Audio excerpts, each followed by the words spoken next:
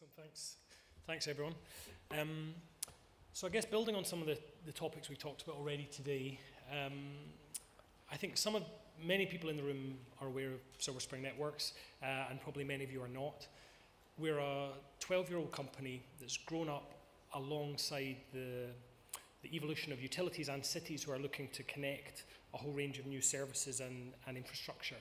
And so today what I wanted to talk about was kind of reflect on what we've seen over the last 10 years in the smart grid development in, um, in the US market, and then look at how utilities and cities compare, and then uh, looking forward, say what I think the four key lessons are that successful cities will need to uh, adopt to embrace the, the maximum benefits from smart city technologies.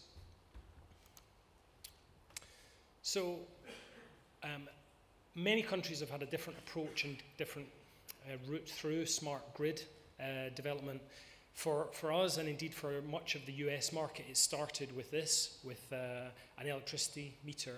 And around 12, 10 or 12 years ago, stimulus funding became available to, um, to enable remote reading of electricity meters. And it started with quite a simple business case around avoiding visiting customers' homes, avoiding estimated bills, and deploying new tariffs that could vary in price during the course of the day.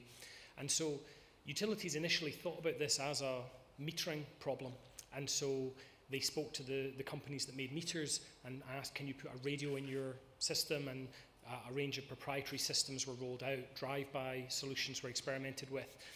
And at that time, Silver Spring Networks was formed by a team who'd been involved in some of the early technology development in the internet um, development and recognized that actually this was an opportunity for utilities to deploy uh, a network which could do a lot more than smart metering.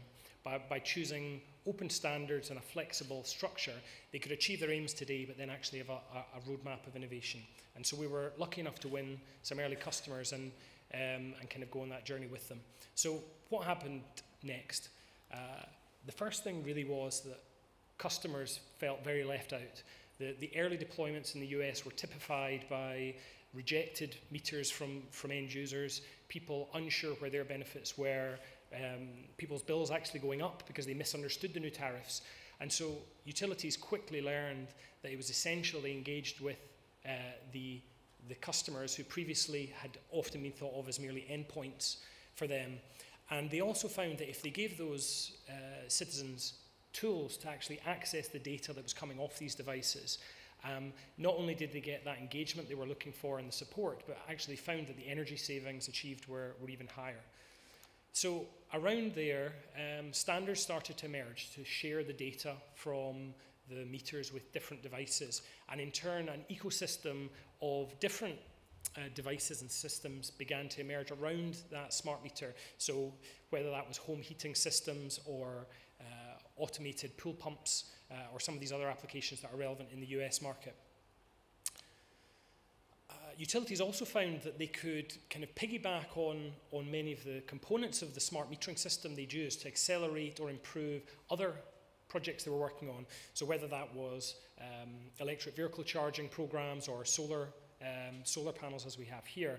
And that could be leveraging the communication network to enable more effective or more reliable communication, or actually using the customer tools that had been deployed to give consumers more information on solar generation.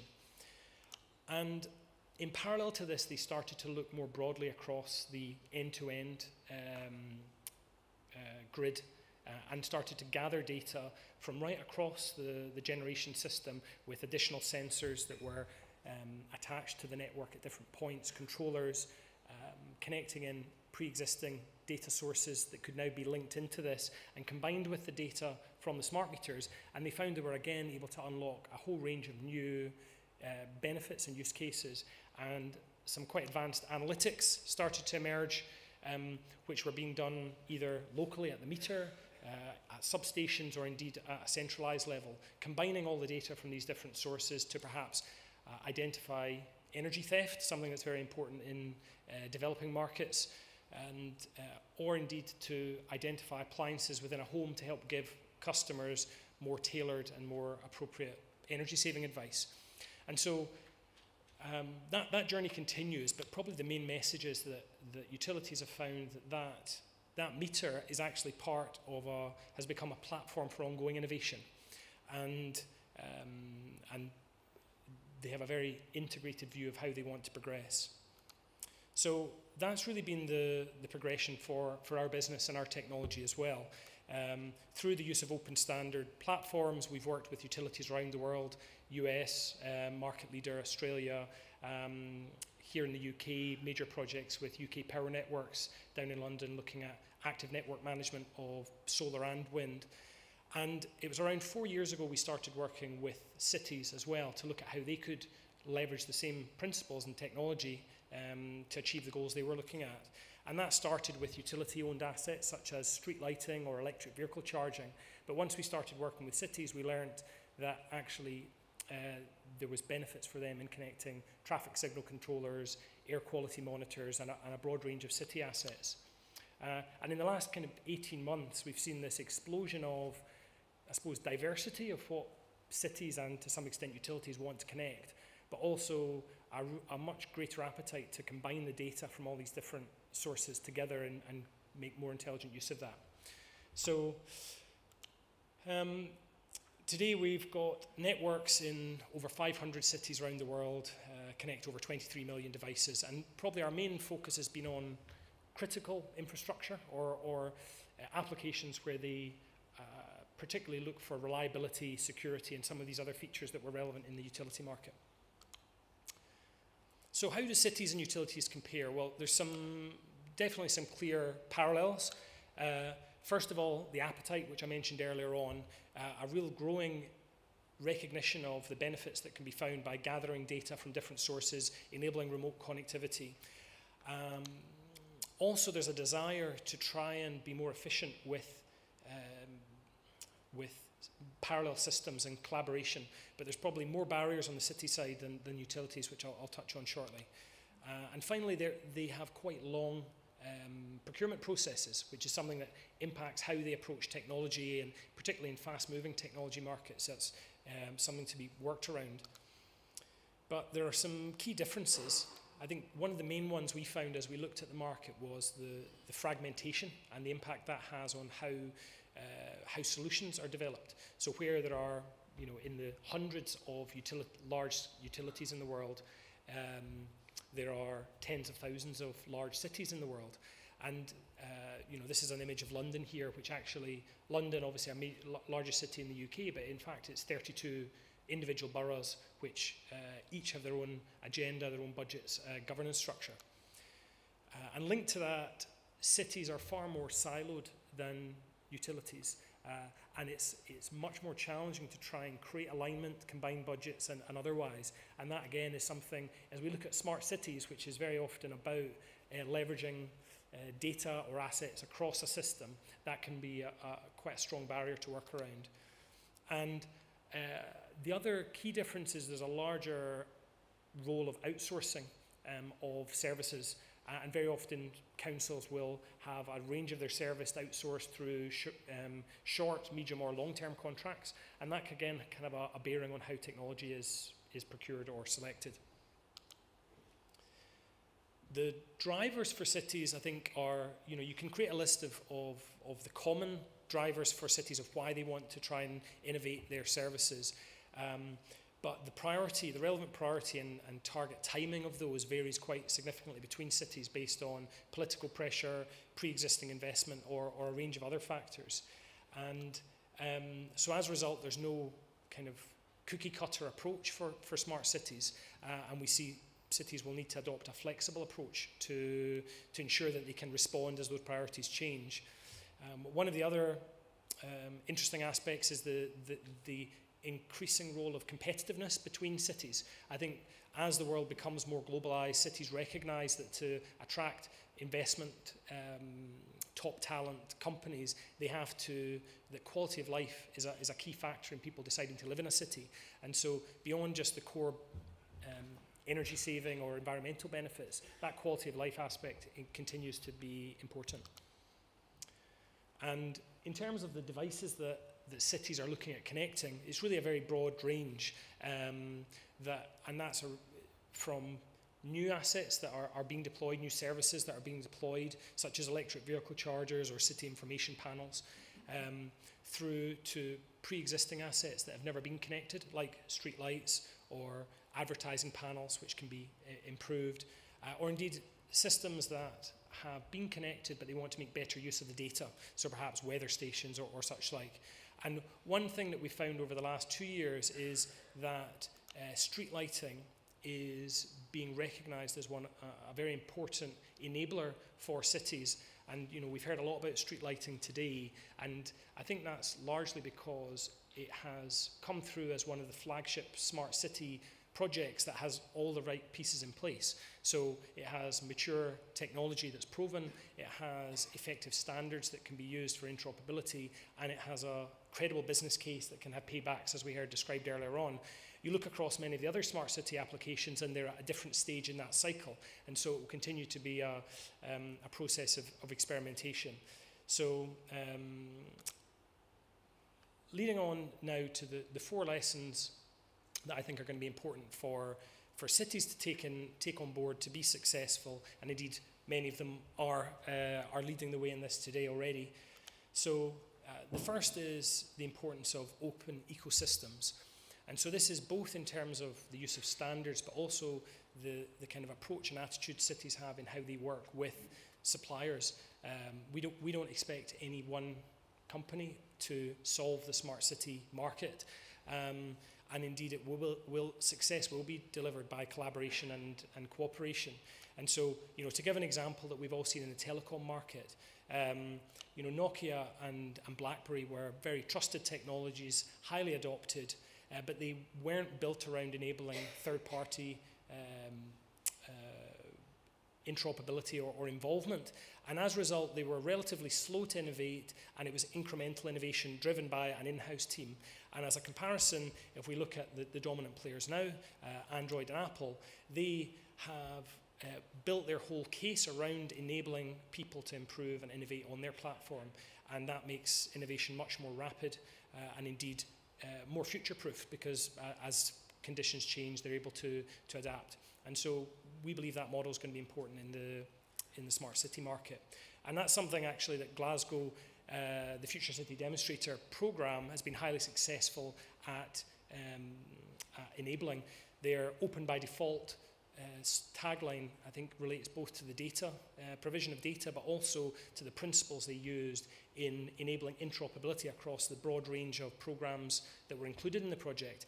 We were um, delivering the intelligent street lighting aspect with uh, three sites across the city connecting LEDs for energy saving, but also bringing in data from traffic monitoring cameras, air quality monitoring, and noise monitoring. And that data was then um, interfaced across a whole range of different parts of the system because they'd, they'd considered that interoperability up front. Second way is uh, cities need to find a way to share across silos. Um, and I think the sharing can relate to a whole range of different areas from budgets, um, uh, of course, data, but also just understanding the, the challenges that are being faced and finding ways to improve business cases by recognizing. And I think that, um, that challenge will probably be different for different cities. Um, Glasgow have been effective at using the Future City demonstrator program to, to move that, that forward and create greater visibility. Uh, Copenhagen, who we work with, have created a dedicated smart city council and an innovation lab in the street to, to allow people to come in uh, and play. Uh, Stockholm have used EU funding to, to, to do tactical projects which bring, bring different teams together. Uh, and Paris are targeting specific outsourcing procurements and trying to merge those in a sensible and um, efficient way to, to, to kind of leverage technology. And so they, when they were recently looking at upgrading their street lighting control system, they recognized that actually their traffic signal control system was also in need of upgrade, and those were combined into a common procurement, which was our initial um, project in the city. So we connect uh, control over 150,000 lights in the city and traffic signals. And, but they now want to use that same network infrastructure and software system to extend benefits to a, a range of other connected infrastructure applications, such as um, advertising panels, EV charging, and they see that as a long-term um, innovation. Okay, so I'll be fast from here. So the, the, the third is that smart cities, uh, we believe, has to be seen as a process, not as a technology or a kind of one-stop solution. So that is in part planning for upgrading over time, so considering how the system will evolve and grow, so the capability to deploy new firmware, the capability to extend functionality. Um, and Copenhagen, I mentioned already, they had a, they've got a very aggressive carbon reduction target, looking to be carbon neutral by 2025. And to achieve that, they recognize that they need to incrementally make improvements over time. So their smart lighting program, which is 20,000 lights across the city, was very aggressive. And afterwards, they recognized that there was some conflict with their uh, cycling promotion, which is a separate um, initiative to try and increase cycling in the city. And so they've been able to enable functionality which will uh, improve cycle safety um, through controlling of the lights in a, a system that was specified two years after the original lighting solution. Uh, uh, creating a governance structure so that systems can interoperate, uh, I think relies on having uh, initial planning on how a common methodology can be used by different teams over time. And again, this is something that Glasgow have been very effective with in setting out a, a program which has common uh, objectives which can be applied to different, different initiatives. And Uh, one of those being security. That's an area that we think is particularly important to have a high level and consistent view because it's very hard to retrofit. And uh, as we see data being used more broadly in many different ways, um, uh, it's important to have a common attitude to that. And um, we already see incidents around the world of, of hacking of systems with, with perhaps early day or pr proprietary technology. And it's often said, well, why would anyone hack uh, a particular system. But the reality is, people will always find a reason, uh, even if it's for their own entertainment or otherwise. Mm. So, um, uh, the final point uh, to wrap up is the importance of putting citizen benefits at the core of smart city initiatives rather than it being seen as a means in itself. And to, to run through a couple of quick examples, uh, Copenhagen, as I mentioned, uh, have done a, a citywide LED upgrade, but one of the, the things they're most proud of is how they started that process, which was with developing a lighting master plan where they walked every street in the city with the contractor to speak to businesses, local residents, and find out what lighting meant to them and what could be achieved. So they, they got the maximum benefit as they, they did that um, upgrade. Um, Cities are changing the way they engage with their um, citizens by leveraging social media platforms. Um, and uh, very quickly on this one, a, a large-scale project in Florida, the utility there, who have upgraded over 500,000 lights in a, a, massive program across the world, uh, sorry, across the state, I should say. They um, had particular interest in 750 sites that were relevant to a particular citizen, which was the turtles that had particular breeding patterns that could be affected by the lighting. And so they've, they've built specific functionality into the system for those 750 sites. Um, the final one here is one that some may be familiar with, another street lighting um, uh, example. And this is one that came out of Bristol with a focus on changing cities, citizens' um, perception of, of lighting. And so they essentially hacked uh, 12 lights, street lights across the city, city, fitted them with um, projectors that would record the, um, the, if I can get this to play, um, record the shadows of citizens walking past and then replay it for those. It's not playing on the screen, unfortunately, but um, it's well worth a look. The shadowing project, which was a way of the city uh, changing how people saw the saw the, the role of street lighting in their city. So thank you very much, and uh, look forward to questions later.